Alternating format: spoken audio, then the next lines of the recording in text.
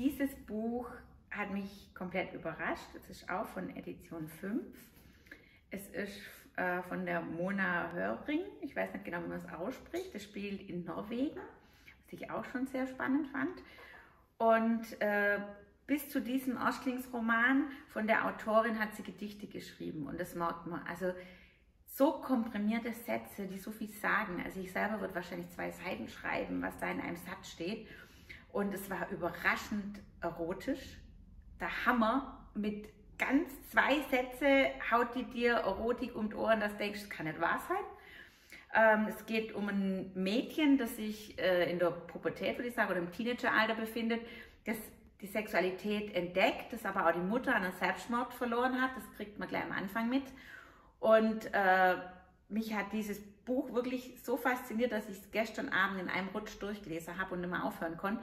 Es sind nicht viele Seiten, aber es beschäftigt einen brutal und ich würde es nochmal lesen und wahrscheinlich würde ich es noch öfters lesen, weil es einfach sehr komprimiert ist. Und jetzt möchte ich gerne was vorlesen. Hinten drin ist nämlich ein Interview und da kommt auch das Thema mit der Sexualität vor, weil das wirklich überraschend ehrlich ist, wie sie schreibt und direkt.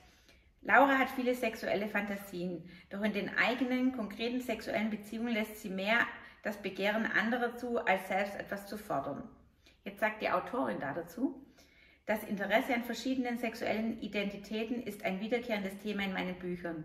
Ich möchte über das Sexuelle etwas sagen, das befreit, zumal es von manchen als sündig und abstoßend gewertet wird. Für die Frauen in meinen Büchern soll die Sexualität ein Freiraum sein. Sie sollen auf diesem Gebiet gesund sein dürfen, möglichst wenig beschädigt und verkrüppelt. Ich versuche immer, sie in einen sexuellen Seelenfrieden hineinzuschreiben. Die Frauen, über die ich schreibe, sollen der Lust und dem Begehren mit Freude begegnen können, sich mit Genuss darin bewegen, ohne Zwang, ohne Gebote, ohne Verbote, ich habe mich entschieden, den Bereich des Sexuellen als eindeutigen Freiraum darzustellen.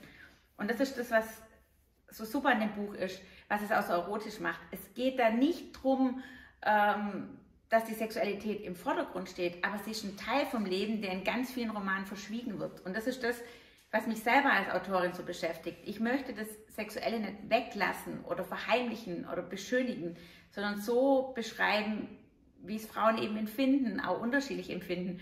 Und das hat die Autorin wahnsinnig gut geschafft und ist für mich wirklich ein Vorbild. Also Hammerbuch, lest das Buch und es bringt euch weiter.